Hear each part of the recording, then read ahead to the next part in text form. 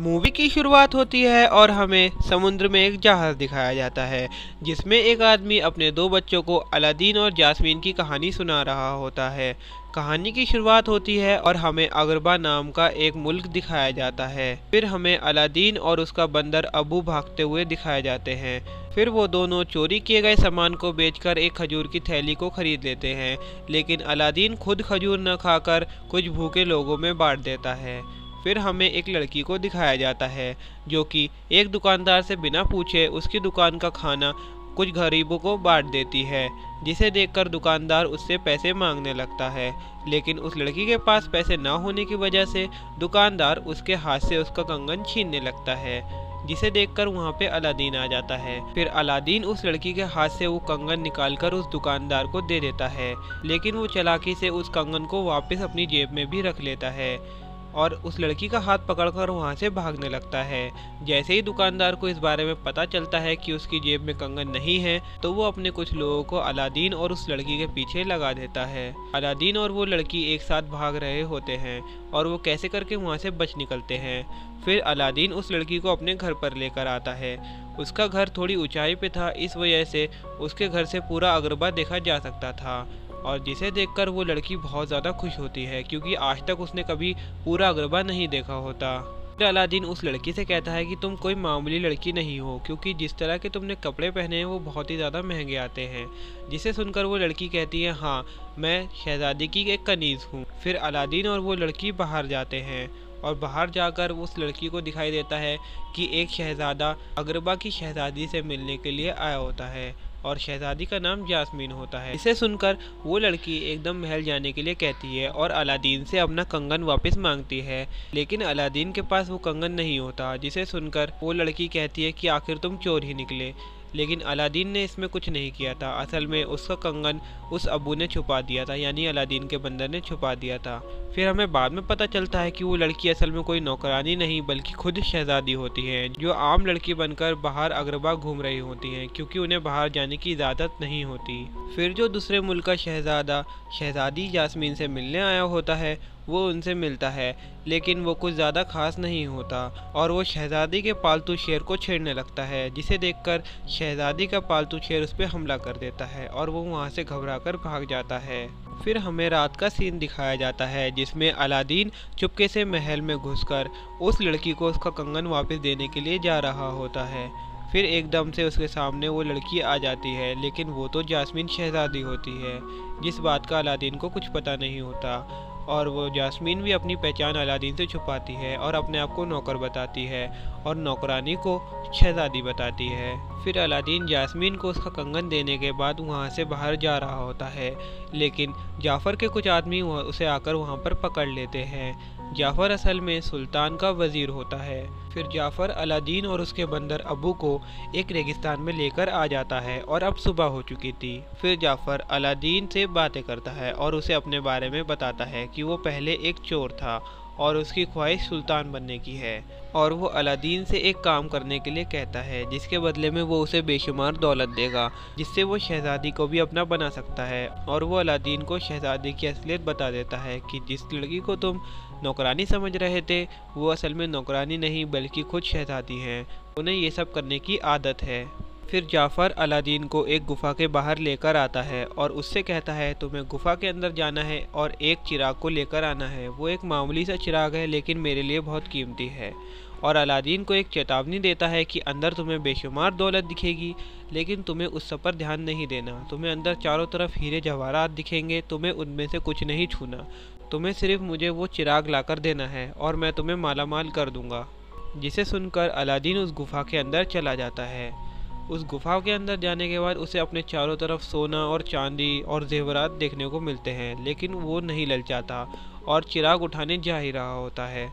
एकदम से उसका अबू, यानी उसका बंदर, एक हीरे को देखकर वो ललचा जाता है और उस हीरे को उठा लेता है, जिस वजह से पूरी की पूरी गुफा टूटने लगती है। लेकिन गुफा के अंदर एक जादुई कालीन होती है, जो कि अलादीन को बचा लेती है। अलादीन बाहर निकलने वाला ही होता है कि जाफ़र उसे अंदर ढकेल देता है और उससे चिराग छीन लेता है। लेकिन उसका दोस्त अबू चालाकी से उस चिराग को ज़फ़र से वापस छीन लेता है और गुफा भी बंद हो जाती है और ज़फ़र बाहर रह जाता है और गुस्से में आकर ज़ोर ज़ोर से चिल्लाने लगता है क्योंकि उसे अब चिराग नहीं मिल पाएगा। फिर हमें अलादीन और अबू दिखाए जाते हैं, जो कि यह सोच रहे होते हैं कि हम गुफा से कैसे बाहर निकले।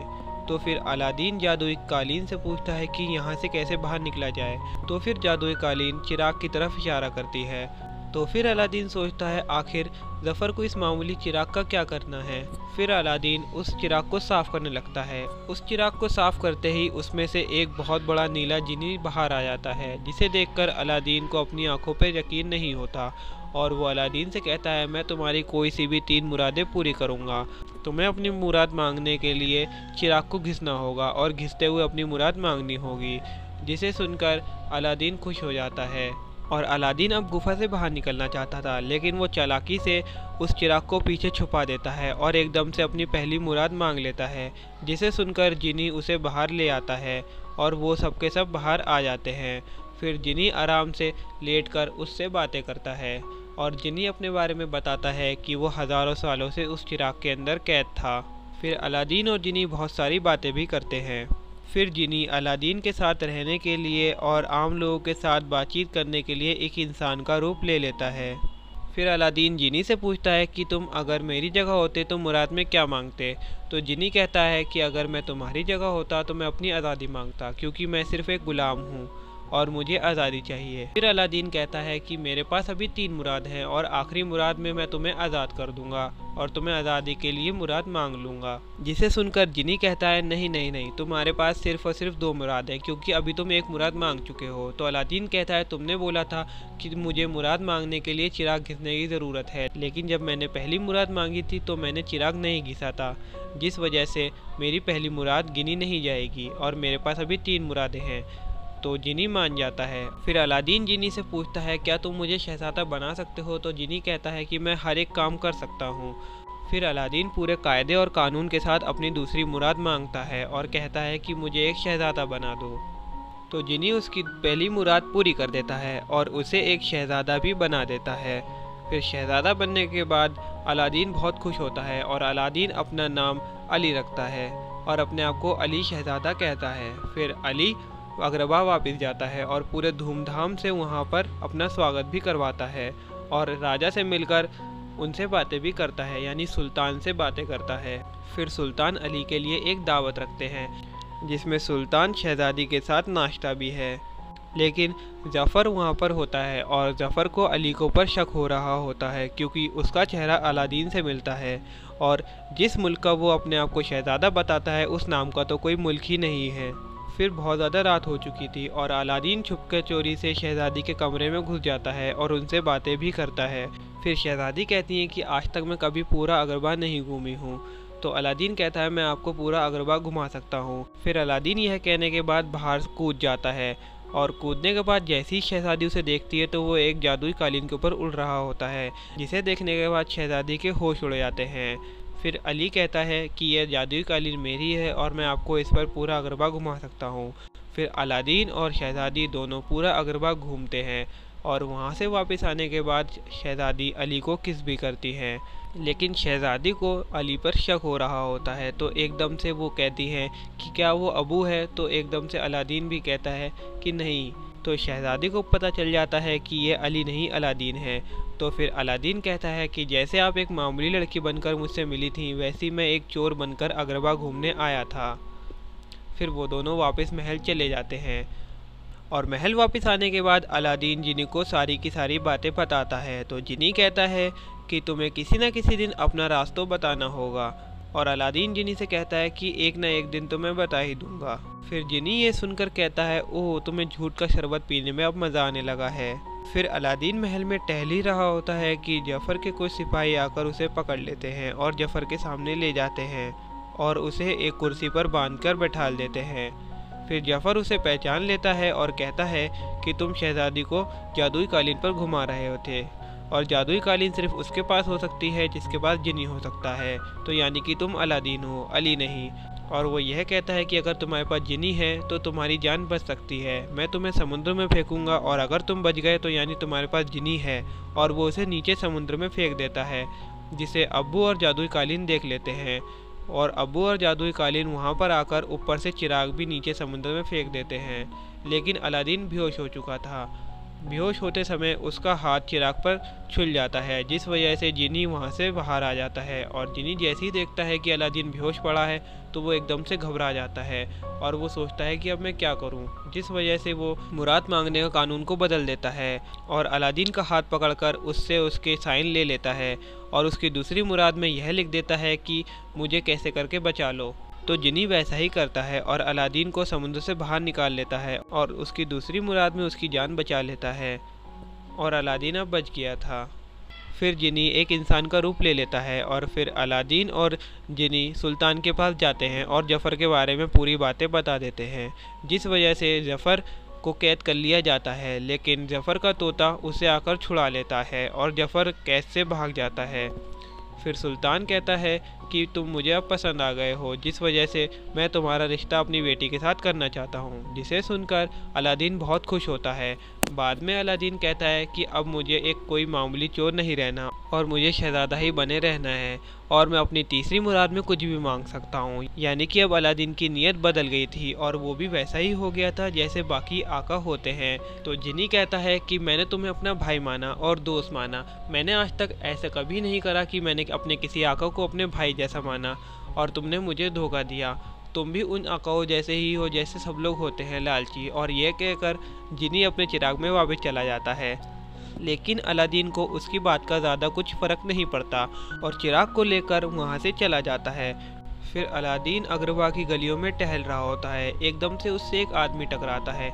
वो आदमी असल में जफ़र होता है, लेकिन अलादीन उसे नहीं पहचान पाता और जफ़र उससे, उसका चिराग भी ले लेता है और अलादीन को इस बात का पता तक नहीं चलता। फिर जफ़र उस चिराग को घिसता है, जिसमें से जिनी बाहर आता है और जिनी ये देख के घबरा जाता है कि अब उसका आका एक जफ़र नाम का आदमी है और वो बहुत ज़्यादा लालची है।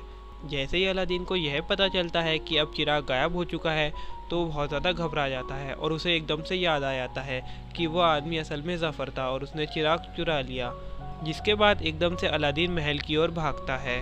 फिर हमें महल के दरबार में जफ़र को दिखाया जाता है, जो कि जासमीन और सुल्तान के सामने चिराग को घिसता है और उसमें से जिनी बाहर आता है। फिर जफ़र जिनी से अपनी पहली मुराद माँगता है और जिनी से कहता है कि उसे अग्रबा का सुल्तान बना दिया जाए। तो जिनी को मजबूरन उसे सुल्तान बनाना पड़ता है, क्योंकि अब जफ़र सुल्तान बन चुका था, इसलिए सारे सिपाही उसकी बात मानते हैं। फिर जफ़र शहज़ादी को उसके कमरे में कैद कर देता है, लेकिन शहज़ादी वहाँ से भागकर जफ़र के पास आती है। शहजादी दरबार में आती है और सेनापति से कहती है कि, असली सुल्तान जफ़र नहीं है, बल्कि असली सुल्तान मेरे पापा हैं, और तुम्हें उनका कहना मानना होगा, और तुम सच्चाई का साथ दोगे। तुम्हें इसे सुनकर सेनापति भी शहजादी के साथ हो जाता है और सारे सिपाही भी जफ़र के खिलाफ हो जाते हैं और जफ़र गुस्से में आ जाता है। गुस्से में जफ़र अपनी दूसरी मुराद में यह माँगता है कि उसे दुनिया का सबसे ज़्यादा ताकतवर जादूगर बना दिया जाए तो जिनी को उसे दुनिया का सबसे ज़्यादा ताकतवर जादूगर बनाना पड़ता है। और वो सबसे ज़्यादा ताकतवर जादूगर होने के बाद सारे के सारे सिपाहियों को कैद कर लेता है। फिर जफ़र सुल्तान और जासमीन को भी अपने जादू में कैद कर लेता है। पीछे से अलादीन चिराग को चुराने की कोशिश करता है, लेकिन जाफ़र उसे पकड़ लेता है। अलादीन की सच्चाई सबके सामने ला देता है कि असल में ये शहजादा अली नहीं, बल्कि अलादीन चोर है और उसे सज़ा के तौर पर एक बर्फीली जगह पर भेज देता है, जहाँ पे अलादीन और अबू की जान जा नहीं वाली होती है, लेकिन जादुई कालीन उसे वहाँ पर आकर बचा लेता है। दूसरी तरफ़ हमें यह दिखाया जाता है कि अब जफ़र जासमीन से निकाह करने वाला होता है, लेकिन जासमीन जफ़र के हाथ से चिराग छीन कर महल से नीचे कूद जाती है और अलादीन वहाँ पर उसे आकर बचा लेता है।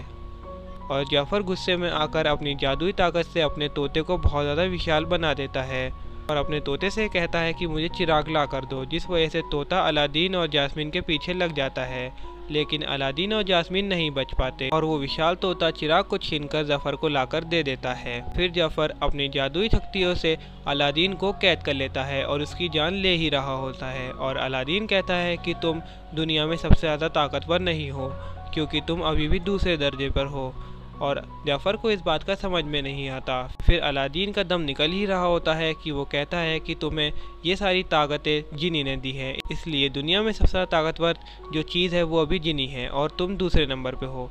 जिसे सुनकर जाफ़र अलादीन को छोड़ देता है और गुस्से में आकर जिनी से अपनी आखिरी मुराद मांग लेता है। और आखिरी मुराद में वो यह माँगता है कि उसे दुनिया का सबसे ज़्यादा ताकतवर जिनी बना दिया जाए, जो कि उसकी सबसे बड़ी भूल होती है, और जिनी वैसा ही करता है।